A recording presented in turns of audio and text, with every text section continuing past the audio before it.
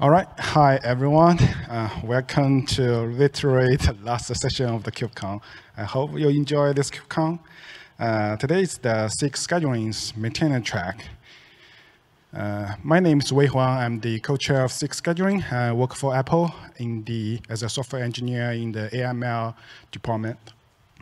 Uh, my name is Ken. I'm from DaoCloud. I also work on Kubernetes stuff, and I'm also uh, on the upstream. I work, work together with uh, Wei. And yeah, that's all.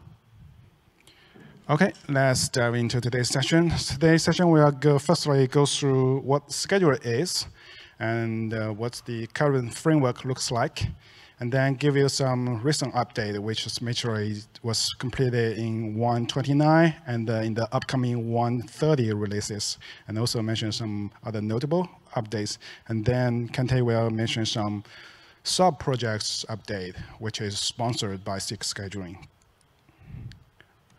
Okay, so first part is scheduling overview. Uh, you may have known that scheduler since 119, uh, firstly uh, introduced the scheduling framework to orchestrate the whole scheduling workflow. So basically, all the plugins right now shipped with the default Kubernetes offering are using this framework, and a lot of out-of-tree plugins, which is uh, a developer to satisfy in-house scheduling framework uh, requirement are use, also using this framework. So basically, I intentionally skipped the first part, the blue, the purple part. I will mention later in detail. And then you can see we start with a sorting interface, which is internally we maintain a scheduling queue to accommodate the incoming paths. And we, the by default is sorting by the uh, priority. And then the schedulers, the green part will choose the head of the queue and pick up for scheduling, enter the scheduling cycle. So it will go through a series of extension point. Uh, the first two is called pre-filter and the filter, which is majorly to decide whether the pod can be scheduled according to predefined hard requirement or not. So by the end of this phase, it will give you a result that says, okay, how many nodes can fit this pod? If yes, then continue to the happy path is to go continue to pre-score, score, etc., which is basically to prioritize this node's candidate to give a final optimal node for the pod to be scheduled on. And then once the last phase of the green box finish, uh, the scheduler will start from the head of scheduling queue again to pick up the next part to schedule the next part. So why it separate the scheduling cycle and binding cycle is because binding cycle is sometimes time cons consuming because it has to interact with the API server to sending a binding request. So the yellow part, which is called binding cycle, which does what does what it does is to do uh, sending a binding request to the API server, which is basically underneath to set the spec.nodeName for the, for the path. So this is for the happy path. That means you have at least one node to accommodate the incoming path. But it can happen that there's no single node can host the path. So it go to the, the upper layer. Is if you look at the uh, red sign here.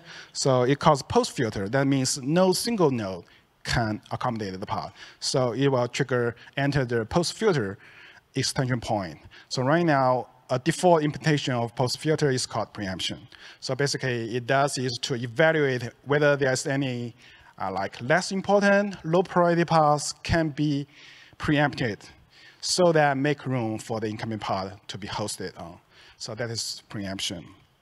And uh, because Kubernetes, each Kubernetes pod has a default grace termination period, which is defaulted to 30 seconds. So basically, schedule cannot just sit there for 30 seconds for the pod to be physically deleted and then place the pod on.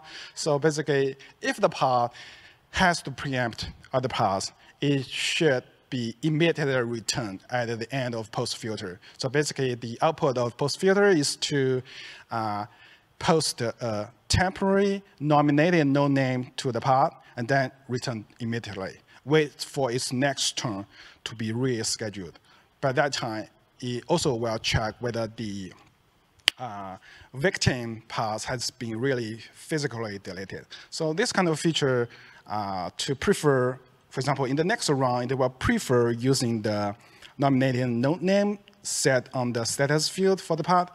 Uh, is, this feature is little surprisingly also used by some external component like Karpenter. They're using this to do the scheduling in a very fast path because they involve some uh, uh, involve some node provisioning, so it, they don't need to go through the regular scheduling flow to go through the previous, for example, 5,000 or 2,000 nodes because this path has been proved to not fit for the path. So that's basically optimization and how it's used by other components. So recent update section.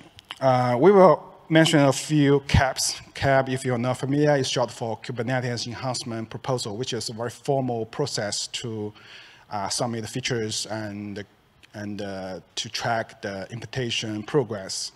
So the first, the first one I want to introduce is called the pod scheduling readiness. So as I mentioned earlier, for sorry, for a pretty long time, this is the scheduling framework, which is just basically a pod gets created, they will immediately go into scheduling queue and wait for its turn to be picked up and scheduled. But it doesn't fit for some user scenario that is once the pod gets created, it doesn't really mean the pod is ready for scheduling. For example, the pod maybe needs to go several uh, external components to check its validness, for example, whether its quota, some in-house quota has been satisfied, etc., etc. So that is why we introduce a extension point called pre-in-queue, which, has, which happens before the sorting and also, also the whole scheduling lifecycle. So once the part gets introduced, you can implement the pre-in-queue extension point to add customized logic to, to pre-check the pod. Once it's satisfied, it will uh, push it to the red to the scheduling queue. So this feature is alpha in 126 and beta in 27 and the GA in the upcoming 130 release. So this may be a little uh, abstract to end user. So for the users that use this feature, we introduce the scheduling gates field in the pod. So in the left rectangle box, you can see that uh, it has two scheduling gates field. One, one is called full, one is called bar. Uh, these two these fields in the scheduling gates has to be specified at the beginning of your created pod. It can be your controller take, take the ownership of the pod creation, or it can be some uh, mutation webhook. But once you set it and uh, raise the pod, create the pod via API server, it's a one-way direction. So you cannot say, okay, in, in uh, sometime later, you add additional scheduling gates. That's not allowed. So if there's some scheduling gates out there, in the bottom, you can see that this, the pod will stay in schedule, scheduling gated phase. That means the pod inside scheduler has not entered the regular scheduling cycle yet. It will wait there for some external signal to remove the scheduling gates. For example, the full maybe has be checked already satisfied, then it will be remo removed, and then the bar gets removed, then it will lift up the gate to push the gate, to, to push the pod to the regular scheduling uh, cycle. And then you will see you normally are familiar with is the pod will get into from pending to running. So basically this feature introduces uh, another scheduling phase, which is called the scheduling gated for you to integrate with your components to do some very customized scheduling requirements. One typical thing is that some organization has some in-house quota uh, requirement before the pod can be scheduled. So this is used, I think in the Apache YuniKorn's plugin mod is used a lot to increase their throughput. The next one, which is also a KEP, is called the min domains in pod topology spread. It's a sub-feature of pod topology spread. Uh, the motivation is that some users, I would say a lot of users use cluster autoscaler in the cloud offerings. So as time goes, the topology domains may shrink. For example, may shrink to one. Uh, and in that case, does the topology spread, the max skews is actually no OP because you, you only have one domains. So in that case, all your pod will be stacked into the same domains. So that may be not the user one because they may also prioritize uh, the, the application's resiliency, high availability over the others. So in this case, what they want maybe is that, okay, I don't want the pod to be scheduled to the same domain. That doesn't make sense to me. So what they want is that, okay, just let the pod be pending. I, I do want the pod to literally to another domain. So what you need to do is that in the scheduling uh, topology constraints field, add a min domains equals two. To simplify, this, in this case, just min domain equals two. So this kind of information and the depending part will be detected by your cluster autoscaler, either Karpenter or vanilla cluster autoscaler, they will create an additional domain for you, and then the pod will be scheduled to the domain as what you want. So how to configure? It's pretty simple. It's, the min domain is optional field, so it's by default to set to one, and you have to set a, a non-negative number here. So another feature is called queuing hint. Uh, it's a very internal feature. It's not oriented for the end user, but I will mention a little bit. So in scheduler's history, before 122, how the pod can be requeued if the pod is, is pending is pretty wild, very aggressive. So basically, for every system event, no matter it's a node and a pod get deleted, will trigger move all the pods back into the scheduling queue. So you can imagine it's, it's super inefficient efficient because it can uh, put the high-level paths again and again, push back to the head of, head of the queue, so that causes the low priority paths can, doesn't have even has a chance to be scheduled. So it, this is classically called head of line blockings. And then in 2122, we introduced some coarse-grained approach by allowing the plugin developers to define which events are related or we can say can help the failed pod reschedulable. For example, in this case, you can define in your volume plugins that is only some PVC or PV event happens, we, the scheduler will move the pod back. Otherwise, just stay there. But this is uh, sometimes not that fine-grained. So in the latest release, we introduced the queuing hint to not only allow the plugin developers to uh, define relate, related events, instead to de define related callback functions, which is we uh, give enough context information to the callback function signature, so you can choose how to implement that callback functions. Uh, this is the original interface, which is very simple. It's just return a series of the cluster events. A new interface looks like this, much complex, I would say, but it can achieve better uh, throughput.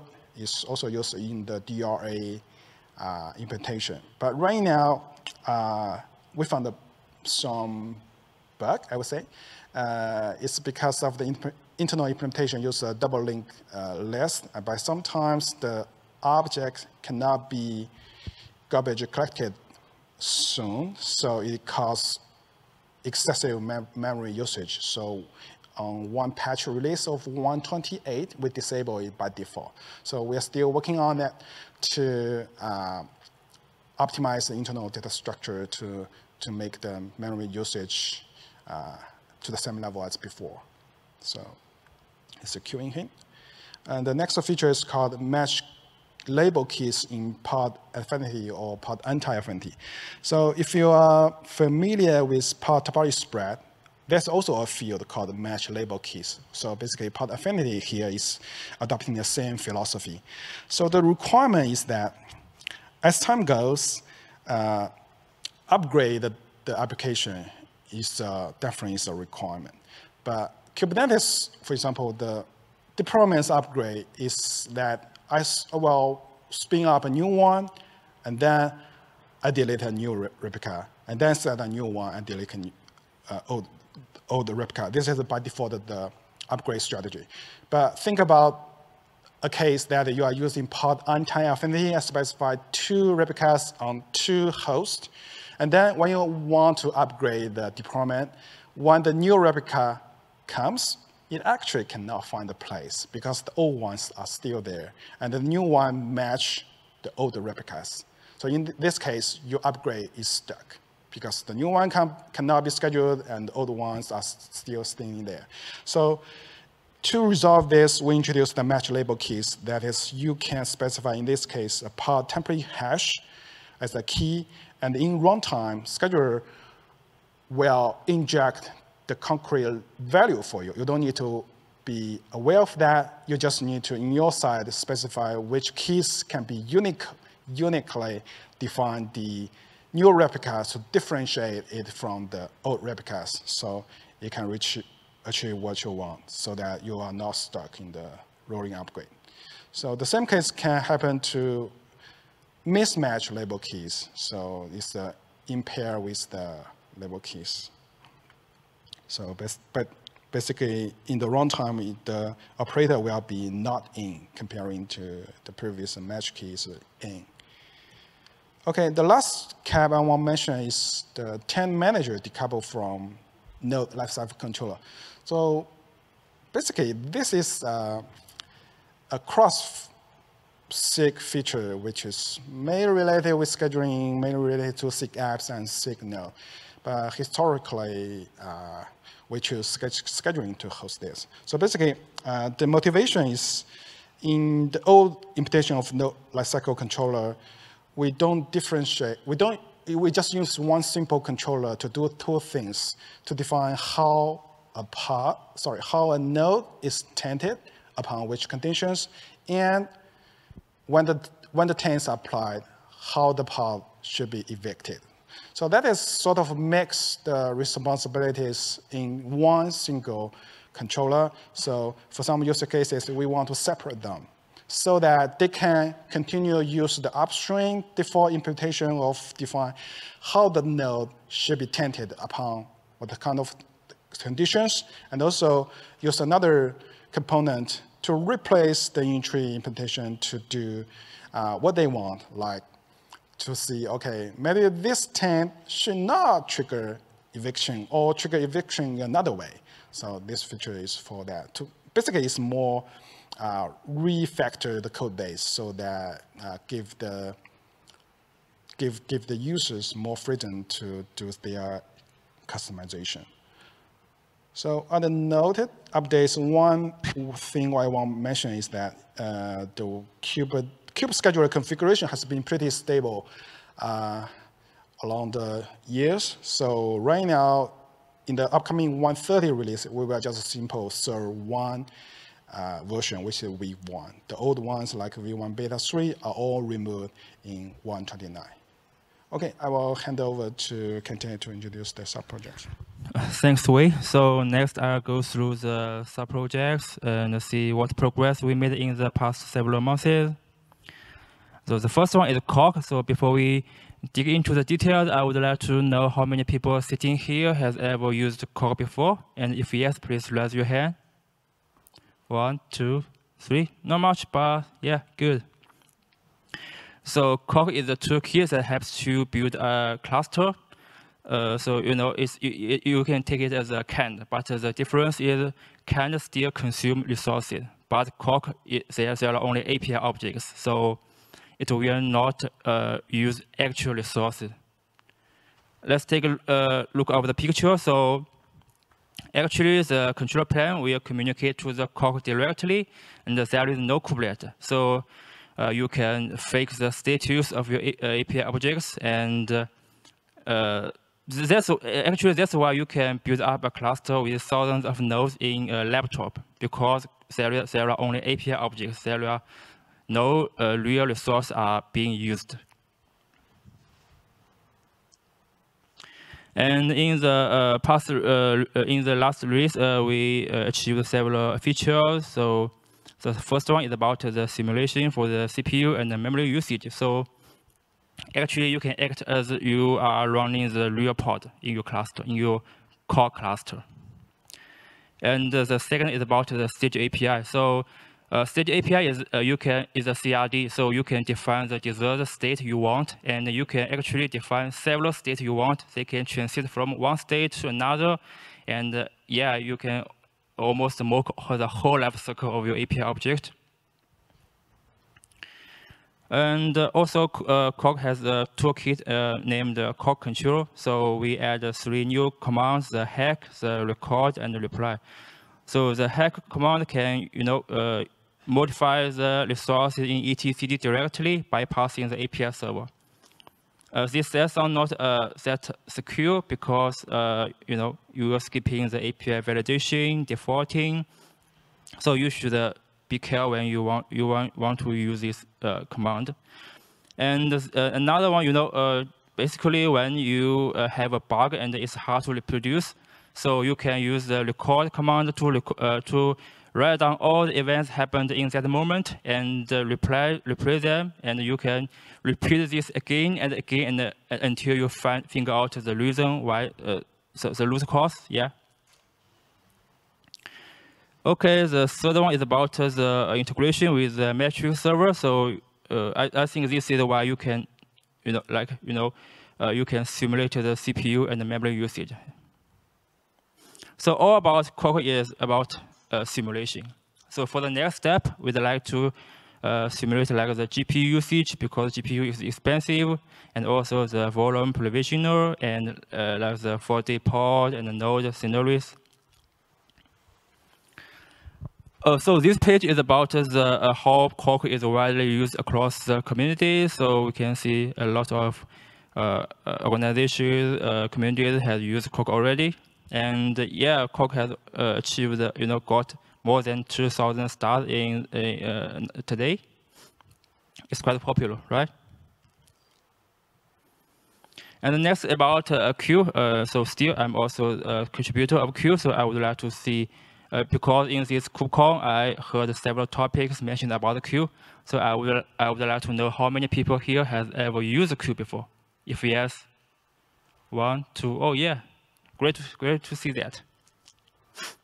So uh, basically, Kueue is designed to for the job management and uh, uh, job queuing. So it offers quite a lot of capacities like the priority-based uh, job ordering and job uh, uh, preemption.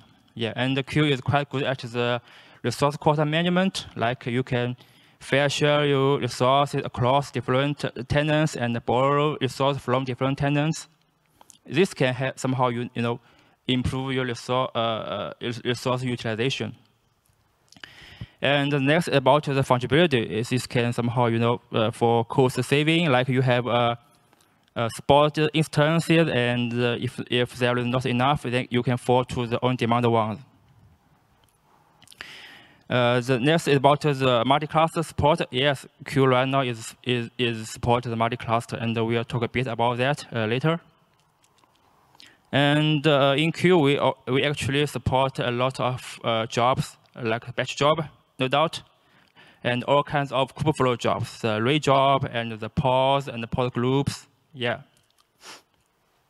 I think the most important thing about Kueue is that you can uh, work Kueue with the Kubernetes native components uh, smoothly.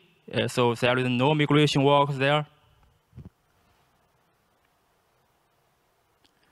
Oh, I forgot that. So we got more than one, uh, 1,000 stars uh, weeks ago. I think that's a big milestone for our, for our project. So this is uh, how KWOK, uh, sorry, how Kueue works at a high level. So for short, the Kueue will help to manage how jobs are uh, when the job will run, when the job should be claimed, and then when the job is admitted, it will leave the scheduling to the default kube scheduler. And if there is not enough resource in the cluster, the cluster auto scaler will uh, take place. Yeah. This is how Kueue works. And the weeks ago, we just released a new minor uh, version, uh, 0.6.0. Actually, we introduced a bunch of big features in this release. So the first one is about uh, the multi-cluster support, aka uh, MultiKueue. So this is a master worker model. So uh, the, you have to install the queue in each cluster, and the master uh, queue will decide which cluster to dispatch the job to run if you uh, are interested with this uh, feature, you can, you know, read the KEP for more details. The next one is about the visibility API. Uh, it's somehow for the insights of the pending jobs, pending, pending, pending workloads, so you can have an overview about how your cluster looks like, how many jobs are running, and how many jobs are pending right now. And next about the lending limiter. So before this feature in Kueue, uh, let's say we have uh, two tenants and uh, one tenant can borrow the resource, can borrow the all resource from another tenant. So it's greedy. So with this lending limit feature, you can, you know, uh, guarantee some resource for self usage and it will never be borrowed by your neighbors. And uh, another is about all or nothing queuing. So I want to highlight that this is uh, completely different from the kube scheduler poll group. It's uh, only implicit in the uh, QQ uh, queue. So, uh, but but the capacity is quite same. So you can uh, you can annotate the pod. so so so a group of pods can be queued as a unit. Yes. And before we support the Ray job, but some of our customers uh, say that uh, uh, I also have some Ray cluster in, in our queue, so I would also support Ray class, so it comes. And we also uh, support some, you know, enhancements for the preemption and some new policies. For the next step, we uh, mostly focus on three things. Uh, the first one is about the more fairness resource sharing, like the uh, dominated resource fairness. And you know, uh, right now, uh, Kueue only support two-level hierarchy, hierarchy. So the cohort, the class queue, but it's not enough in a big company. So we are now considered to support the hierarchical cohorts. It's already designed and yeah, the last one is about the integration. Integrate with the Kserve so we can manage the uh, you know online online survey, online inference service and the offline inference service together. Also the Kubeflow pipeline. And the next about uh, uh, Wasm extension. I guess a uh, few people here has uh, heard about this project. So uh, today we have several several ways to extend our schedule. The first one is the schedule framework this is recommended. And the third one is about the multi-schedulers. And the third one is about the schedule extenders. So uh, schedule framework is, is you know, uh, uh, you know, it's recommended, but it's not, you, but you have to recompile your schedule once you have a new plugin. And the, and the uh, schedule extender is quite flexible, but it's slow because it invokes the API uh, requests so we still lack, uh, you know, uh, uh, you know, a dynamic way to uh, to recompile uh, to extend your schedule, but it's quite it's still efficient. So that's why we introduced the Wasm extension. This is a you know high-level picture about how Wasm extension looks like. So we have a, a Wasm plugin in the scheduler. We we usually call the host plugin, and we have several guest plugins. So the guest plugin is actually where your scheduling logic is located. So, so we'll combine you. Let's say you have uh, several guest plugins and uh, you implement the functions, and we, we then we will com uh, compile them to the Wasm files. And the Wasm plugin, the host plugin, will load the Wasm files. So that, that's how it works uh, generally.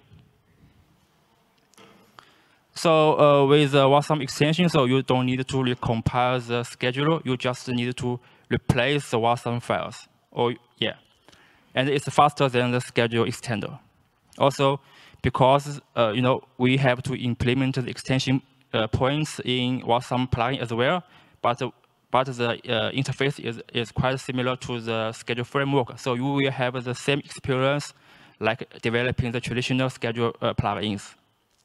Also, it's a, a safe sandbox because even if you panic in your guest plugin, the kube schedule will not be impacted.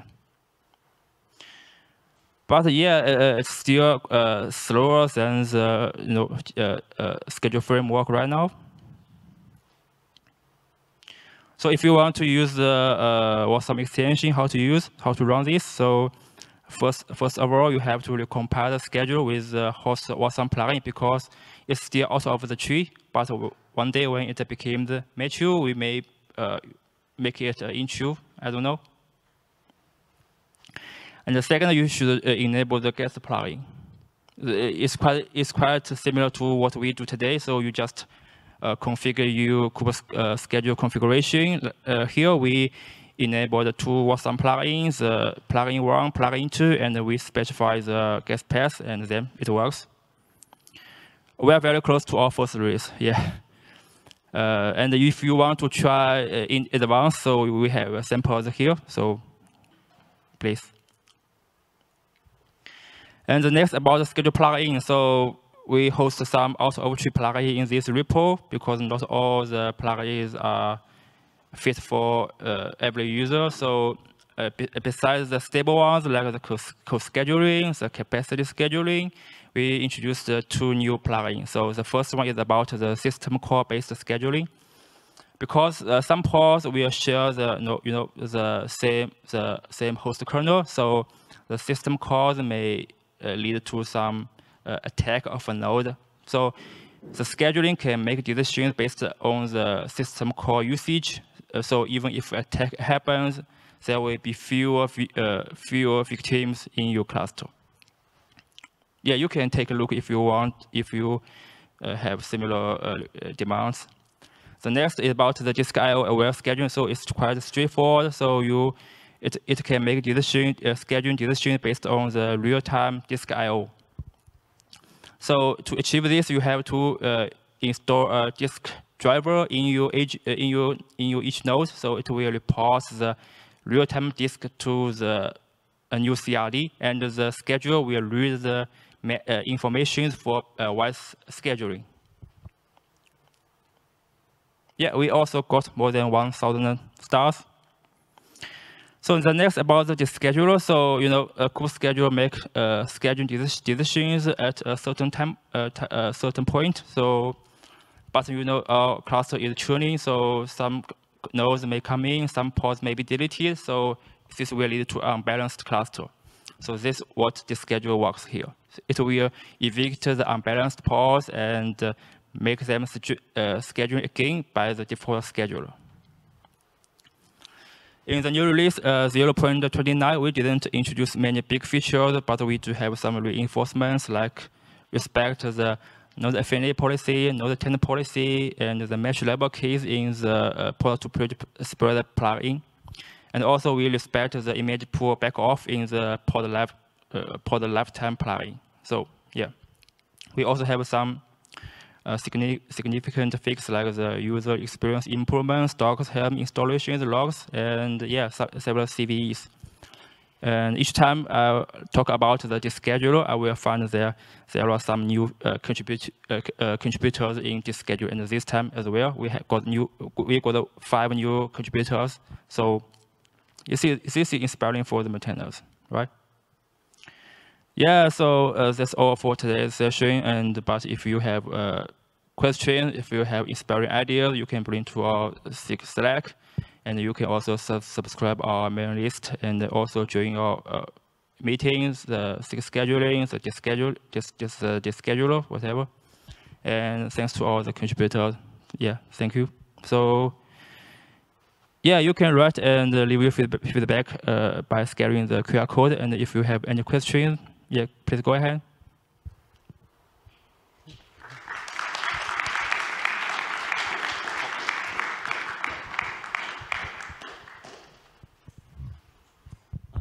Yeah, thank you for the session. Uh, I had a question about scalability on the eh, pre-enqueue plugin, the new plugin that you showed. Ha are there any tests done on how many pods it can hold? Uh, for pre-enqueue, actually, the pressure is not from scheduler. Instead, this is the opposite way. Introduce pre-enqueue is to release the pressure on scheduler. Because as I mentioned, pre-enqueue, the power life cycle will just go through one direction cycle. So it will impose extra pressure to the API server and also no extra cycle to uh, the regular scheduling cycle because that's the pre the second cycle. And then the pre-enqueue can happen uh, very lightweight. So uh, for the default scheduler, the implementation, you can think it's just one line code, whether check the lines of the scheduling gates equals zero or not. But when it in terms external plugins, it will quite depends on your implementation. For example, if you, in your plugin implementation, you involve API call to AWS or externally, that will definitely adds the uh, latency to the scheduler. But for scalability, uh, it doesn't impose the pressure. It just depends on your implementation as well as the latency. Yeah. Yeah, you can hold. Yeah. Yeah.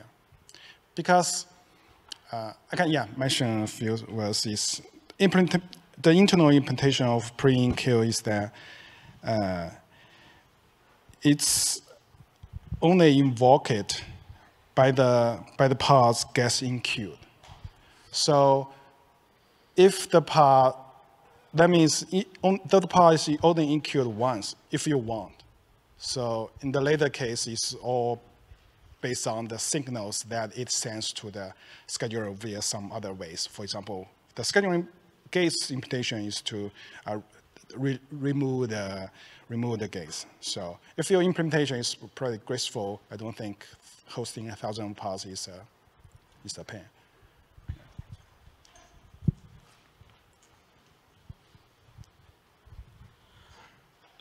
Uh, you mentioned that there are some enhancements in the uh, plug uh, the framework, right? So, for example, the callback interface, if I recollect.